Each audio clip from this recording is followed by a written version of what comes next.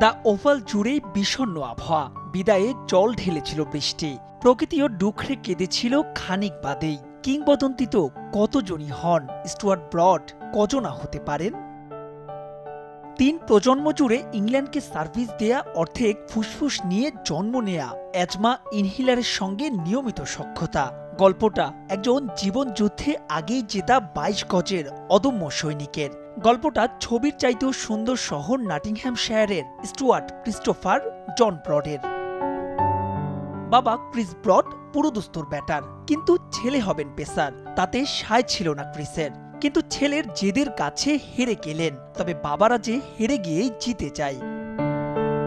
দু হাজার ছয় সালে অভিষেক পরের বছর টি টোয়েন্টি বিশ্বকাপে এক ওভারে তাকে ছয় ছক্কা হাঁকান যুবরাজ সিং।